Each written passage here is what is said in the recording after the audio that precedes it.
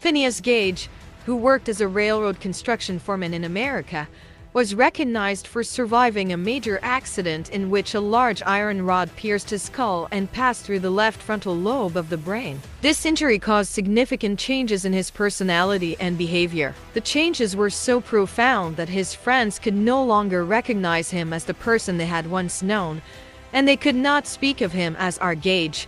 This incident is also referred to as the crowbar case in America.